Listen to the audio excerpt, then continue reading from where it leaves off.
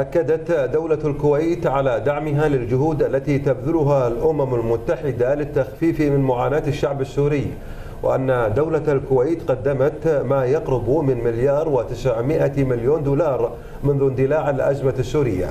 جاء ذلك خلال اجتماع مجلس الأمن الدولي بخصوص الوضع الإنساني في سوريا.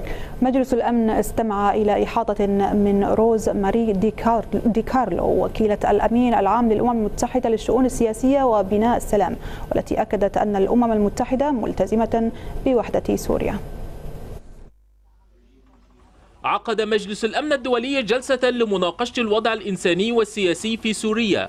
حيث استمع المجلس إلى إحاطة من روزماري دي كارلو وكيلة الأمين العام للأمم المتحدة للشؤون السياسية وبناء السلام والتي أكدت على أهمية إنشاء لجنة دستورية برعاية الأمم المتحدة وأكدت على أن المنظمة الدولية ملتزمة بوحدة سوريا وأن الجولان السوري المحتل جزء من سوريا.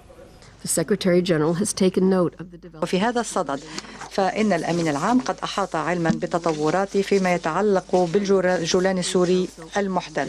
وإن موقف الأمم المتحدة يستند إلى قرارات مجلس الأمن والجمعية العامة بخصوص هذا الموضوع.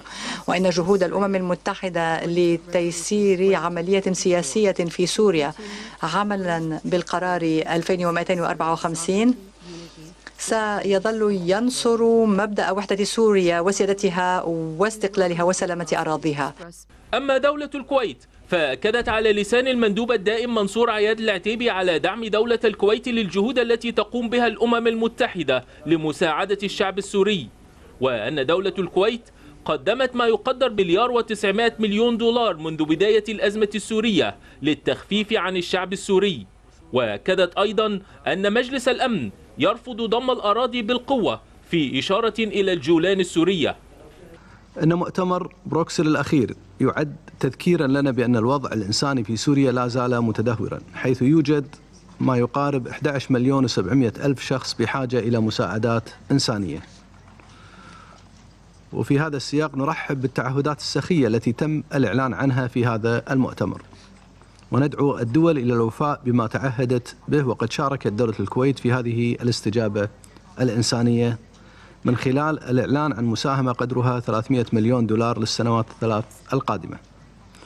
وذلك استمرارا لدعمنا للجهود الدولية لتخفيف معاناة المتضررين من الشعب السوري وتحسين أوضاعهم الإنسانية. وبذلك يبلغ إجمالي ما قدمته الكويت منذ بداية هذه الأزمة ما يقارب مليار و900 مليون دولار.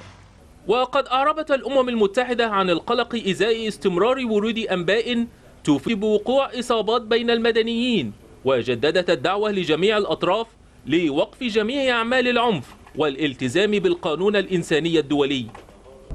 أكدت دولة الكويت على أهمية قيام مجلس الأمن الدولي بمهامه في الحفاظ على الأمن والسلم الدوليين خصوصا مع دخول الأزمة السورية عامها التاسع.